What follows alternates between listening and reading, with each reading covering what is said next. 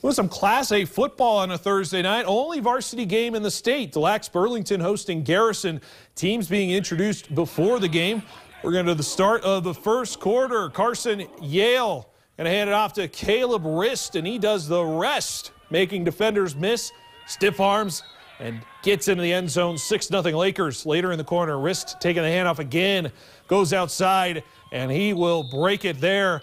Third touchdown in the first quarter for him. The second quarter, Carson Yale drops back. Going to go air here with Blake Waka. Takes it all the way for the score, and Des Lacs Burlington wins it big at home, 52 to 6.